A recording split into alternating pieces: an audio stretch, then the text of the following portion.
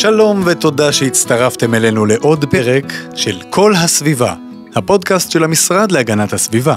אני אלעד זוהר, וכמדי פרק נסקור כמה מהנושאים שאולי לא נמצאים באופן תדיר במודעות של רובנו, אבל בהחלט משפיעים ישירות על החיים של כולנו. משבר האקלים וחוסן אקלימי, מדיניות הפסולת של ישראל ויישומה, רעש עירוני והתמודדות איתו, וכמובן, הגנה על הטבע הישראלי. כל אלו בראש סדר העדיפויות של המשרד, ואל כולם נצלול בכל פרק עם אנשי המקצוע שעוסקים בתחום. כמויות הפסולת שאנחנו מייצרים רק עולות ועולות. בגדים מאופנה מהירה שאנחנו זורקים אחרי לבישה וחצי, מוצרי אלקטרוניקה שנזרקים כלאחר יד, וכמובן ההרגל הידוע להעמיס את המקרר והארונות במזון ולהכין סיר ועוד סיר שחלילה לא יחסר, מה שמוביל לכך שיותר מ-40% מתכולת הפחים הביתיים שלנו הם מזון ופסולת רטובה. במקביל, בכל שנה כמיליון טונות של פסולת בניין מושלכות בשטחים פתוחים. שימו לב, מיליון טונות. מלבד העובדה שהשטחים היפים של הארץ שלנו נהרסים, הפסולת גם גורמת לזיהום קרקע ומי תהום. אז מה עושים עם אתגר הפסולת הזה? מסתבר שיש מה לעשות, ולא מעט. איתנו אלעד עמיחי, סמנכ"ל בכיר לשלטון מקומי וחינוך קהילה, ואורי טל, מרכז תחום הטיפול בפסולת בנייה, ואתם שניכם מיד תספרו לנו בין היתר על חוק פסולת הבניין החדש שמקדם המשרד. שלום לשניכם, תודה רבה שבאתם לפודקאסט. שלום. נתחיל איתך ברשותך. אה, אלעד, אה, נגדיר את הפסולת. דיברנו על כל מיני סוגים, בניין, פסולת רטובה ועוד ועוד. תן לנו ככה סקירה מהירה. אז פסולת, מה זה פסולת? קודם כל, מה, מאיפה באה המילה פסולת? חשבתם פעם? פסול. פסול. כן. משהו שכבר אנחנו לא צריכים אותו והוא פסול לשימוש ואנחנו משליכים אותו. תגיד, אבל מה זה הפסולת הזאת? שניצל עם ביס אחד הוא פסול? כי זה אני זורק לא מעט לצערי. זה בדיוק העניין. כן. ההגדרה מהי פסולת ומה מוצר, זה החלטה שלנו. בן רגע, כמו שתיארת את זה, מוצר איכותי, אייפון הכי מתקדם, כבר שר חינו בעינינו, הפך לפסולת, אנחנו משליכים אותו. והוא כבר לא אה, מוצר, הוא פסולת. השניצל שלך, לפני רגע היה משהו, מנה, משהו. מנה יוקרתית אה, בווינה, ב, אה, אכלת, שבעת, מרגע זה הוא כבר לא שניצל, הוא הפך לפסולת, וכך הלאה וכך הלאה. הבגד, הצעצוע, עוד אחד ועוד אחד ועוד אחד, וההחלטה מה הוא, מה הוא מוצר ומה פסולת, ברוב הדברים זה החלטה שלנו, שאנחנו הופכים את ה... מחליטים על סוף חיי המוצר והופכים אותו לפסולת. כמו שההחלטה שלנו, מה, מה, מהו מוצר ומה פסולת, גם ההחלטה, היכולת להפוך את ההחלטה ברובה היא שלנו. מעניין. ולכן זה קצת פילוסופיה של אה, פסולת, ולכן כשמדברים אה, על פסולת, ונגיע לזה בוודאי בהמשך, מה עושים ואיך מונעים את ההיווצרות של הפסולת ואיך מטפלים בפסולת, אז קודם כל נקדיש מחשבה אה, למהי פסולת, והדבר אה, אה, החביב עלינו, המוצר החביב עלינו, איך קרה שהוא הפך להיות מתגלגל או, או באתר הטמנה או ב, אה, בשטחים הפתוחים. אבל אה, בכלל כמה, מה, איזה פסולות יש לנו וכמה. אז יש לנו כל מיני סוגים של פסולת, בעצם אה, אה, אנחנו מחלקים את זה לכל מיני קטגוריות, ונתחיל אה, בקטגוריה המוכרת לנו והכי ביתית, זה הפסולת הביתית, זה מה שאנחנו מייצרים במשקי הבית, אנחנו מכלילים בזה גם את מה שמיוצר אה, במסחר ובתעשייה הזעירה בתוך אה, הרשות המקומית, כל זה נקרא הפסולת הביתית, שישה מיליון אה, שישה מיליון טון של פסולת מדי שנה אה, מייצרים אזרחי מדינת ישראל. אה, מבחינת אה, כמות אנחנו מגיעים כמעט לשני קילוגרם פסולת. אה, פסולת אה, של אה, בן אדם שמייצר מדי יום שני קילוגרם פסולת. שני קילו פסולת ביום פר קפיטה מה שנקרא. פר קפיטה. קצת Mm. פחות, אבל אה, מה שחשוב, אני לא בטוח כמה זה אומר לאנשים, אנחנו מאוד אוהבים להשוות את עצמנו מהגבוהים ב-OECD, מייצור הפסולת בין הגבוהים ב-OECD. למה זה? ישראל היא מדינה אה, שאומנם שייכת ל-OECD, אבל יש לה מאפיינים מעט שונים, היא מדינה שהכלכלה שלה צומחת בקצב מהיר, אנחנו מקווים שזה ימשיך ככה, מצד אחד, ומצד שני, בשונה להרבה מדינות, במיוחד באירופה, אה, גם אה, קצב הילודה בישראל אה, גדל ובקצב מהיר, ושני אלה מאפיינים אותנו באופן חריג ממדינות מערביות, ממדינות ה-OECD, ולכן ביחס ישר לקצב הצמיחה הכלכלית ולקצב הילודה, גם כמות הפסולת עולה בקצב של 2.5% בשנה, קצב גבוה מאוד ביחס למדינות אחרות. ואת זה אנחנו צריכים לשנות. והרבה שטח אה, אקסטרה אין לנו. אה, אבל בוא באמת נחזור לנתון, ה... זה בעיניי מאוד מדהים. תראה, אם אתה אומר 40% מתכולת הפחים הביתיים זה מזון, זה אומר שאם אני בשבוע במשפחה אלף שקל בסופר, אז 40% מזה זרקתי לפח, סוג של, זה נתון מדהים. אתה יודע, פלוס מינוס. אתה כאילו שם כסף בזבל. אז נקודה מעניינת שגם גם היא משתנה. אה, אם, אה, אם אתה לוקח פרספקטיבה של אה, קונה, של אה, צרכן אה, בעל ניסיון, תראו אם נלך לסופר או לחנות מכולת פעם מלפני אה, 50 שנה ונלך היום, המראה של המדפים וצורת הצריכה השתנתה לגמרי. פעם היו קונים הרבה יותר מזון במשקל, מזון בתפזורת, וגם היו קונים ב... חצי לחם. בחסכנות, כן, חצי לחם. חצי לחם עם אריסה, זה היה סוגר לנו את הפינה של, ה- של ה- אה, צהריים. כן. היום אין יותר חצי לחם, היום את הלחם אנחנו קונים בתוך שקית ניילון, אורזים את זה. בתוך שקית כן. אה, ניילון, ושמים בארגז קרטון, וככה מרבית המוצרים שלנו הם ארוזים. לאחרונה ראיתי בסופר שאורזים אה, מלפפון בודד או, או פ- פרי בודד, אה, תפוח בודד, והאריזות האלה, בנוסף לצרכנות מופרזת, שהיא גם מאפיינת את העולם המודרני, מביאים שוב לעלייה בכמות הפסולת ולבאמת בזבוז גם של משאבים, כן. וגם כלכלית אנחנו אה, זורקים, כמו שציינת, הרבה מאוד כסף לפח אחר כך. בתוך הטיפול בפסולת יש גם המון חינוך ורגולציה, ואתה נדמה לי בצומת בדיוק באמצע בנושא אה, חוק השקיות, שעלה, אושר וקיים, שקיות עולות כסף. איך אתה מתרשם שהיוזמה הברוכה הזאת אה, מתקיימת? האם הם מפקחים עליה, האם היא מיושמת, והאם זה עשה שינוי? חוק השקיות היא דוגמה מצוינת לחוק של שינוי אה, תודעתי. למה? אנחנו עשינו, לפני, לפני שחוקקנו את החוק במשרד להגנת הסביבה, אה, עשינו עבודות כלכליות, תמיד אתה בודק את ה... עושה סקרים, עושה אה, אה, עבודות כלכליות, והחישוב שהראינו שכדי לעשות שינוי, שאלנו אנשים, מה יגרום לכם לעשות שינוי ולא לקחת את השקית? יצא לנו חצי שקל לשקית. רק אז אנשים... באו אה, השרים של הגנת הסביבה באותו זמן ובדיונים בכנסת אמרו חצי שקל לשקית זה הרבה בואו נתחיל אה, אה, בנמוך יותר ונקבע הסכום שעל אותו גובים היום. והפלא ופלא אותו סכום זעיר יחסית 10 אגורות עשה שינוי מדהים. עשה שינוי של מעל ל-80 אחוז בהתחלה בצריכת השקיות באותן רשתות שבהן הוא נקבע, זה לא נקבע בכל אה, החנויות, רק במה שנקרא אה, הרשתות הקמעונאיות הגדולות, זה הוריד מעל 80 אחוז מצריכת השקיות, זה אמנם ירד קצת במשך השנים, אבל זה עומד מעל 70 אחוז גם עכשיו, למה? עצם מעל 70? הפעולה, מעל 70 אחוז וואו, ירידה, הפחתה. שזה, ההערכה הייתה שזה ירד ביותר, שזה זאת אומרת יהיה פחות אפקטיבי. נכון. למה, אז, ושאלנו את עצמנו במשרד להגנת הסביבה, למה, למה בעצם, מה, במה טעינו בחישוב? אנחנו חשבנו שהמניע יהיה כלכלי, אה, עצם גביית הכסף, אבל לא, עצם הפעולה.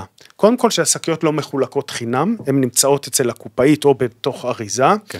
אתה צריך לקבל אותן במדידה, במ- במשורה, והדבר שני זה הבושה הסב- ה- הצרכנית. הזירה הציבורית. היא שואלת אותי, ה- איך קוראים לה, מקופה ראשית, כן, היא שואלת אותי, אה, שואלת, אה, אה, מה, כמה שקיות? אתה רוצה, והיא אומרת את זה בקול רם, כן, כן. כל התור שומע, אחת גג, ואני אורז וזה, ו- ויותר ויותר אנשים, ואנחנו ליווינו את זה גם בקמפיין אה, אה, מוביל, וגם בחלוקה של שקים, אה, שקיות רב פעמיות, ויותר ויותר אנשים משתמשים, ויותר ויותר רשתות אה, אה, כן. בעצם נוטות שימוש אה, בשקיות ושקים אה, רב פעמים, וזה עובד.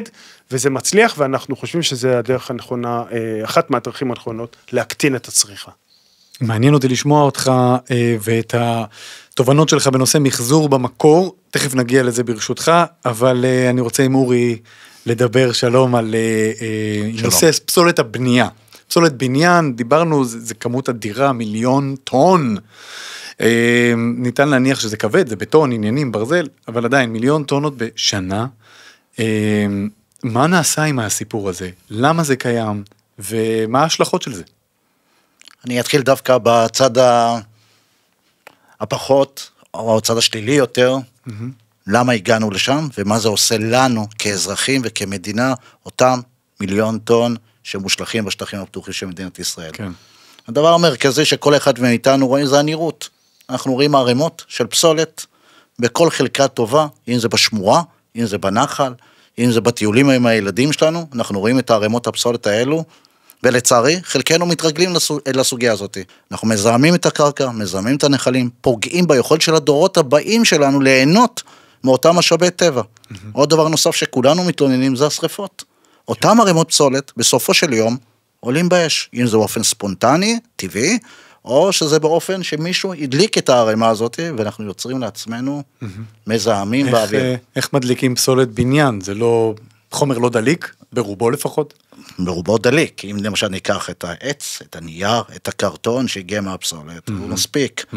חומר מבעיר כלשהו, אם זה השמש, ואם זה אדם שמבעיר את זה בצורה שהוא רוצה להבעיר את זה, לצמצם נפחים, להוריד את הערימה, ואנחנו רואים פתאום ערימות בוערות, ואותה בעירה הזאת פוגעת בכולנו. כן. בכל רגע נתון, ולא מעט מהתלונות שמגיעות למשרד להגנת הסביבה, זה גם בעירות שמגיעות מאותן ערימות. ועוד דבר נוסף זה התפיסת קרקע. אותן ערימות יושבות על הקרקע, שמחר אנחנו רוצים לפתח אותן לדורות הבאים, אנחנו נצטרך כנראה לטפל בערימות האלו בצורה כלשהי, אם זה בצורה כלכלית, mm-hmm. שתעלה לא מעט כסף, ואם בכלל תהיה לנו את היכולת לטפל באותה ערימה מסיבית שתהיה בשטח, ולכן אותן ערימות שגורמות אותנו מפגעים לא רק באופן ישיר כאן ועכשיו, אלא גם הערימות האלה יכולות לפגוע לנו לעתיד mm-hmm. הקרוב והרחוק לאותם אזרחים שיהיו באותו רגע, באותו רגע נתון. כן. אם אנחנו ניקח את פסולת הבנייה שלנו, נמחזר אותה, ונעשה בה שימוש חוזר כחומר גלם לתעשיית הבנייה והסלילה, חסכנו עוד חומר שיוצא מהמחצבה, שהוא פולט גזי חממה בצורה גדולה מאוד. ואבק ורעש. וחסכנו את מפעלי הבטון שמייצרים, ו- ועוד מספר אה, רב של חומרים, אנחנו יכולים להקטין את כן. ההשפעה על גזי החממה. אז uh, מהנקודה הזו של מחזור, לא רק פסולת בניין ניתן למחזר, אלא נחזור אליך. Uh, הייתי שמח לשמוע התרשמות שלך מאותו uh, עניין של מחזור במקור. תושבים שמתבקשים להפריד פסולת, אם זה בתוך הבית או בפחים ברחוב, איך אתה מתרשם שזה עובד?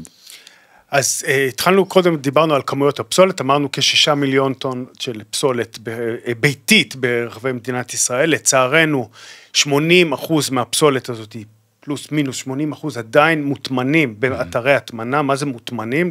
לא יודעים מה זה אתר הטמנה, בור גדול באדמה, רוב הבורות נמצאים גם בדרום הארץ, mm-hmm. משאיות נוסעות, קוברות את הפסולת, מכסים, קוברים, מכסים, כן. ככה אה, זה עובד.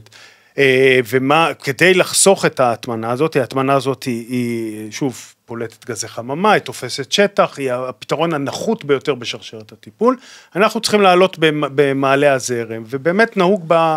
אה, בתעשיית הפסולת לדבר על אה, היררכיה של טיפול בפסולת. הדבר הרצוי ביותר, ודיברנו על זה קודם, זה להפחית, לצרוך פחות, לא לייצר את הפסולת. הדבר אה, השני זה לעשות שימוש חוזר במוצרים שוב ושוב, כלומר לא לזרוק אלא להשתמש במוצרים אה, שוב ושוב, למשל אותם בקבוקי בירה נשר שאנחנו זוכרים שמחזירים למכולת mm-hmm. וממלאים אותם חזרה למשל, זה שימוש חוזר. ובשרשרת הטיפול הפעולה שאם לא הצלחנו להפחית, אם לא עשינו שימוש חוזר אז אפשר למחזר את הפסולת ומה זה אומר? לקחת את חומר הגלם של, של המוצר, הנה הכוס הזאתי, mm-hmm. חס וחלילה תישבר, אפשר לזרוק אותה לפח, אפשר לקחת אותה אה, למחזור של זכוכית ובעצם אה, להפוך אותה לזכוכית חדשה, ואותו דבר קרטון, פלסטיק, mm-hmm. נייר, מתכת. כן. עכשיו, איך ממחזרים? אז המחזור הטוב ביותר, זה בדיוק מה ששאלת, זה המחזור במקור. ככל שאנחנו ממחזרים קרוב יותר למקום השימוש, המוצר הוא נקי יותר והוא גם אה, הומוגני יותר, כלומר, הוא לא מתערבב עם מוצרים אחרים, mm-hmm. הוא לא מתערבב עם מוצרים אחרים והוא נקי יותר והכלכליות של המחזור הרבה יותר אה, אה, טובה וזה mm-hmm. משתלם לעשות את זה, ולכן הכי נכון למחזר במקור ובמדינת ישראל המחזור במקור הנפוץ ביותר הוא באמת אה, הפח הכתום, mm-hmm. במרבית אה, המדינה אה, באמצעות חוק האריזות, חוק שוב שהמשרד להגנת הסביבה יזם וחוקק, חוק האריזות מחייב את יצרני האריזות לשלם בעצם על עלות הטיפול ובאמצעות זה נפרס, נפרסה תשתית של פחים כתומים ברחבי הבית ויש גם פחים סגולים לזכוכית ופחים כחולים לנייר אה, ומקום לקרטון, וזה המחזור הכי טוב.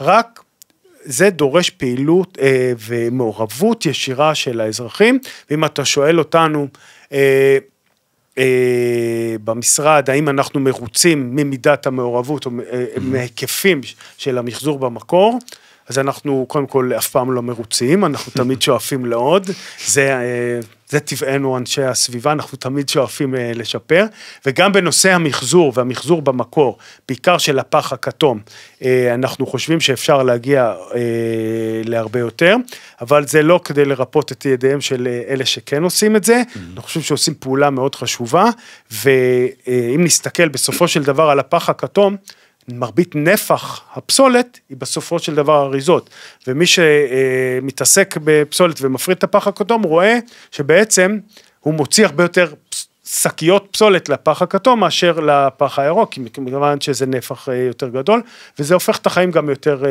קלים. כן, ויש לזה עוד... את הפסולת הזאתי, mm-hmm. הרבה יותר קל למחזר אחר כך, כי היא לא התערבבה במיץ של העגבניות, mm-hmm. או בשמן של הטונה, mm-hmm. ולכן זה פסולת שהיא הרבה יותר אה, קל למחזר אותה, ולכן זה פעולה נכונה וחשובה שצריך לעודד אותה ולהמשיך ולהרחיב אותה. אתה מכיר בוודאי את המפעל אה, RDF שקם אה, ליד אה, חיריה, נכון? אמ, ותפקידו בעצם לייצר חומר דלק מפלסטיק. אמ, והשאלה היא, כשאנחנו ממחזרים במקור, אז האם אנחנו תורמים גם למחזור הזה, מה שנקרא בקצה? או שאנחנו יכולים פשוט להשליך את הפסולת שלנו בערבוביה כמו שהיא, ויש משהו בקצה שיפריד בשבילנו. האם יש איזשהו עוד אלמנט שאני יודע שגם אם לא יצא לי ואני מתקשה קצת ואין לי פח כתום בשכונה או משהו כזה, האם אני יכול לדעת או לחשוב שמישהו ממחזר את החפצים שלי, את הפסולת שלי בקצה? אז נחלק את זה לשניים. קודם כל, אה, אה, נתחיל עם, ה, עם הסוף של השאלה שלך. אין תחליף להפרדה במקור. יש אמצעים מכניים להפריד פסולת באמצעים מכניים והמשרד להגנת הסביבה תומך בכספים גדולים, תמך ותומך בהקמה של מתקנים שנקראים מתקני מיון. למשל, אה, אה, בחיריה, אותו מפעל RDF, אה, הוא מפעל שראשיתו מפעל מיון, ויש כמה מפעלים כאלה בכל רחבי הארץ שהוקמו בתמיכת המשרד להגנת הסביבה. אבל זה לא תחליף להפרדה במקום, מכיוון שכמו שציינתי קודם, הפסולת שמגיעה אחרי שהתערבבה בפח הירוק ונסעה באוטו זבל ונפרקה והתערבבה, האיכות שלה, פשוט איכות חומר הגלם היא הרבה יותר נמוכה. לכן כל מי שחושב עכשיו האם נכון יותר להפריד בבית או שכבר מישהו יעשה את העבודה בשבילי, מבחינה כלכלית וסביבתית, הוא עושה את הדבר הנכון, להפריד במקום. זה לא אומר שלא צריך את המתקנים האלה, כי אנחנו רוצים במעלה הזרם להפחית ולהפחית ולהפחית, שלמטמנה בסוף יגיע מינימום פסולת. אמרתי 80 אחוז מגיע למטמנה, mm-hmm. במדינות העולם המערבי, יש מדינות שהפסיקו להטמין בכלל, יש מדינות שירדו ל-20 אחוז, 40 אחוז, היעד שלנו במדינת ישראל הוא לצמצם את ההטמנה ל-20%, ולכן במעלה הזרם אנחנו צריכים להפחית כמה שיותר את הצריכה, להפחית במקור, להפחית אה, באמצעות, באמצעים מכניים, אה, ובסופו של דבר אה, להביא לצמצום ההטמנה, ההטמנה מילה על ה-RDF, בעצם מה עשינו, מה עושה מפעל ה-RDF? הוא לוקח את שאריות הפסולת שלא ניתן למחזר, שלא ניתן למחזר, לא הכל ניתן למחזר, בסוף יש דברים שהתלכלכו יותר מדי, או, או סוגים של פלסטיק שלא שווה למחזר. בעיקר שקיות. אה, שקיות, אריזות שהן אה, משולבות של סוגי פלסטיק, או, או נייר ופלסטיק ביחד, כמו כוסות חד פעמים, אבל הם עדיין עתירי אנרגיה. אם אה, משתמשים בהם אה, במפעלים שמייצרים אנרגיה, הם מייצרים אנרגיה ואז הם חוסכים פעמיים. הם אה, גם חוסכים דלקים, מפעל ה-RDF שולח את הפסולת שהוא ממיין, מייצר אה, בעצם דלק חליפי, ושולח אותו למפעל נשר ברמלה, ובאופן פרדוקסלי שאולי יישמע תמוה לחלק מהאנשים, הוא מפחית זיהום אוויר, שורפים פסולת במפעל. ובמקום, אה, ובמקום מה שאנחנו חושבים ששריפה יוצרת זיהום אוויר, אנחנו מפחיתים זיהום אוויר. למה? כי זה מחליף את הדלק שהמפעל משתמש בו, והדלק שהמפעל משתמש בו בת- בתעשייה, ברוב המקרים זה דלק מאוד, אה, פחות איכותי, שפולט הרבה זיהום אוויר. אז אנחנו גם מצמצמים הטמנה, וגם אה, מייצרים אנרגיה ומפחיתים זיהום אוויר, בשרשרת, בהיררכיה, שימוש חוזר, אה, צמצום במקור, שימוש חוזר, מחזור, הפקת אנרגיה היא השלב הבא, בדיוק אתה הולך, mm-hmm. אנחנו הולכים לפי הסדר, וההטמנה היא בקצה בקצה, רק מה שאי אפשר אה, למחזר ואי אפשר להפיק ממנו אנרגיה, ואי אפשר למנוע במקור, אותו, רק אותם שאריות אנחנו רוצים להטמין, כן. וזה דורש השקעות גדולות מאוד, מפעלים, והמשרד להגנת הסביבה תומך בכספים גדולים, שוב, זה כבר חורג ממשקי הבית, זה הופך לתעשייה, אנחנו מקימים שרשרת של תשתיות שמונעת את ההטמנה ומשתמשת בשו- בפסולת כמשאבים. אז עוד דבר שחורג ממשקי הבית הפרטיים זה פסולת הבנייה. ושם אני מבין שאנחנו לפחות יכולים לחשוב, לתכנן שחר של יום חדש עם חוק שיעזור לנהל את כל העניין הזה. ספר לנו. ברשותך אלעד, אני הייתי רק רוצה להוסיף עוד נקודה אחרי הדברים אה, החשובים של אלעד. כן, בעולם אורי. פסולת הבנייה, יש לנו את העולם שנקרא הכלכלה המעגלית והקריאה האורבנית. שאלעד דיבר על ההיררכיית הטיפול בפסולת, בפסולת הבנייה זה בדיוק זרם מאותם זרמים שאלעד פירט בפתח דבריו, בפסולת הבנייה אנחנו מדברים בצורה מוחשית בעולם של הכלכלה המעגלית. הכלכלה המעגלית זה אותו חומר גלם, אותו בלוק, אותו ערימת בטון שנכנסה לבניין שלנו, כאן לדוגמה בקישון 8, שנכנסה לצורך העניין, בעוד שנה וחצי, עוד שנתיים, עוד 20 שנה, החומר הזה הופך לאותו בלוק בכתובת אחרת, לצורך העניין. לא צריכים ללכת למחצבה ולא צריכים ללכת לאף מקום אחר.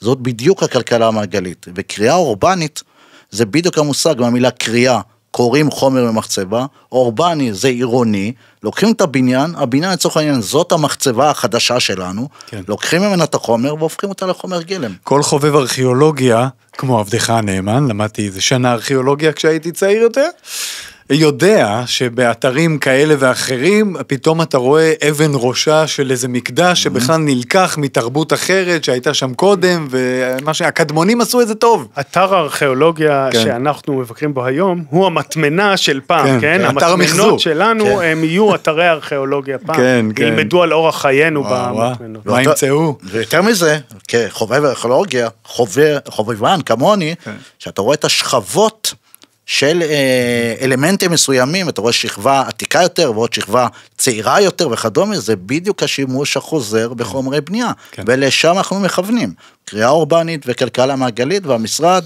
וגם לא מעט גורמים פרטיים כבר מתחילים לעסוק בסוגיה. אז אחרי שקצת התפלפלנו עם ארכיאולוגיה, בכל זאת יש אה, אי סדרים והפרות חוק בנושא הזה, מה עושים? בוא נדבר על החוק שאנחנו מקווים שייכנס חזק.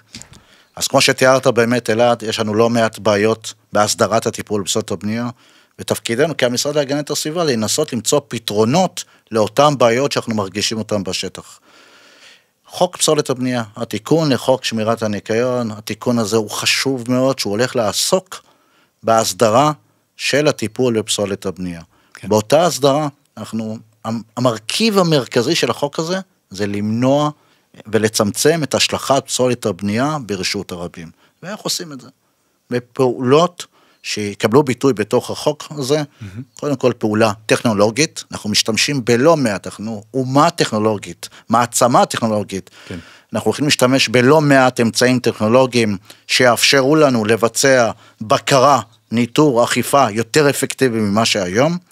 שניים, אנחנו הולכים לעקר את התמריץ הכלכלי של אותם עבריינים שמשליכים את הפסולת ברשות הרבים. החוק הזה ייתן מנגנון חשוב שמייתר ומעקר את התמריץ הכלכלי השלילי הזה של העבריינים. ועוד דבר נוסף, אותו חוק הולך להסדיר גם את הממשקים בין השחקנים השונים בעולם פסולת הבנייה.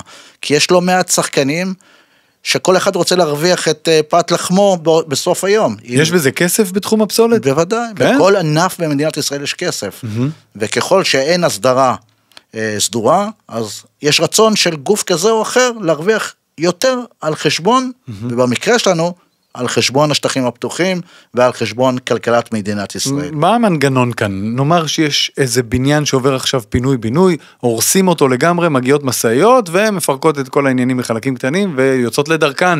הן אמורות להגיע למקום מסודר, לשלם כסף בעבור הפינוי, ומכאן זה כבר אה, לא שלנו, מה שנקרא, אבל זה לא תמיד קורה ככה, כמו שאתה מספר, ואז יש תכנון לאכיפה מוגברת. אז אה, לפני האכיפה המוגברת, המטרה של החוק, ובדיוק מה שציינת אלה, זה קודם כל להסדיר את התנועה של הפסולת. כן. אכיפה מוגברת זה בקצה של הצינור, זה המעטפת של החוק. בא החוק להסדיר קודם כל את יחסי הגומלין בין השחקנים השונים, כן. להסדיר תהליכי עבודה מוסדרים, וכן, גם להגביר את האכיפה. ואני אפרט בצורה קצרה, על מנת שהמאזינים שלנו אה, יהיו מודעים למה שהמשרד ומדינת ישראל מתכננת לעשות בימים הקרובים. אם אני יצרן פסולת, אני קבלן, אני אקח את הדוגמה שלך אלעד, אתה, אני קבלן יזם של פינוי-בינוי לצורך העניין. אם היום הייתי מזמין מוביל מהאינטרנט או מדפי זהב, המושג הישן שלנו, הייתי משלם לו את הכסף שהוא ביקש, את התשלום שהוא ביקש, ועכשיו יש לו ברירה. האם ללכת לאתר קצה מוסדר, או ללכת לוואדי הקרוב. הכסף אצלו בכיס, הוואדי הקרוב מקבל את הפסולת. כן. למשל בא החוק ואומר, אין יותר לשלם לקבלן, הקבלן לא יקבל את הכסף, הוא יחכה לו באיזשהו מסלקה, מנגנון תשלום ממשלתי, יחכה לו שמה, הוא ייתן את השירות מקצה לקצה, מאתר העבודות עד לאתר הטיפול, הגיע לאתר עבודה, יקבל את כספו. מוציאים את צלחת השמנת מעבר לאפיו של החתול. מה, בנוסף לכך, אלעד, כן. נכון, בנוסף לכך, אלעד, אותם אמצעים טכנולוגיים שפירטתי מקודם. אם המשאית הזאת בעבר הייתה נוסעת בלי שאף אחד מסתכל עליה, ובמקרה הטוב אולי היינו תופסים אותה בוואדי, אז כאן יש עליה עכשיו בקרה טכנולוגית, אם זה חיישני GPS, ואם זה אה, חיישן נוסף ששינוי זווית הרכינה של המשאית, לא מעט אמצעים.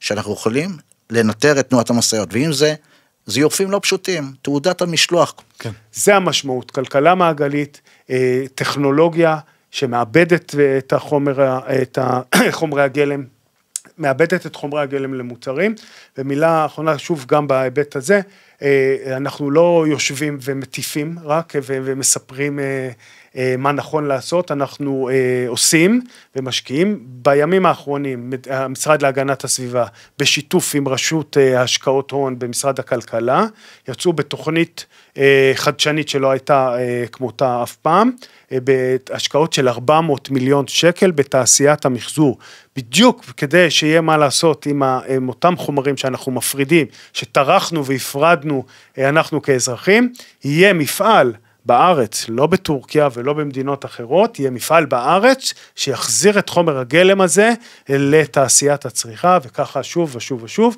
אז אנחנו משקיעים כספים גדולים מאוד בתעשייה הזאת, בדיוק כדי לעודד את, ה, את כן. התעשייה. נשמע כאילו כל התשובות הן כאן סביבנו, אנחנו רק צריכים להשתמש בזה, במעגליות הנדרשת, דברים מאוד מאוד חשובים. לסיום, כמה מילים, כל אחד בבית, מהמאזינים, מהמאזינות שלנו, יכולים לעשות. בחלקת האלוהים הקטנה שלהם כדי לתמוך בנושא הפסולת ולשמור על הסביבה. אני הייתי פותח בכמה דברים שלדעתי שכל אחד מאיתנו, עם חוק, בלי חוק, אלא מתוך אה, ציות לצו המוסרי שלו, לצו הסביבתי, אני קורא לזה, בעולם פסולת הבנייה, בראש ובראשונה, זה להעסיק קבלנים אחראים. קבלנים אחראים הם קבלנים שהם חוקיים, רשמיים, שמופיעים בספר כזה, ברשימה אחרת. וברגע שאתה קבלן אחראי, אז רוב הסיכויים שכנראה אתה גם תציית גם לחוקים וגם לעולם הסביבתי. דבר נוסף שהייתי מצפה מעצמי קודם כל, ובטח מכל חבריי במדינת ישראל, זה להפריד את הפסולת ולהקטין את כמויות הפסולת. להפריד, דהיינו, בעולם פסולת הבנייה, אלא עד שאתה הולך ברחוב ואתה רואה את המכולות של פסולת הבנייה, אז אתה לרוב רואה פסולת בנייה ואתה רואה גם עוד פסולות נוספות שם. ברור. בננות, חיתולים. אז בראש ובראשונה לא להגיע למצב הזה. ודבר נוסף, זה להשתמש בחומרים ידידותיים לסביבה כאשר אנחנו בונים מחדש, או בונים אה, מגורים, בתי ספר וכדומה. אותו תקן בנייה ירוקה שלא נרחיב כרגע, שמכוון בדיוק לשם. כמה מילים לחבר'ה בבית? אז אלעד? הדבר הטריוויאלי שכמובן נגיד, תפרידו, תעשו, אתם עושים את הדבר הנכון. לפעמים אנשים תמהים, רצים מיתוסים, ממילא הכל מתערבב בסוף, ו- ולמה להפריד וזה. אז אני אומר פה באחריות ומידיעה, זה לא מתערבב בסוף. את, מי שמפריד את הפסולות בבית לפח הכתום, את הניירות לפח הכחול וכדומה, ומי שבכלל מגדיל לעשות ויש לו גם קומפוסטר ואת, ועושה קומפוסט בבית, עושה דבר נכון ו... אה, כלכלי, סביבתי וחברתי, הדבר הנכון ביותר לעשות.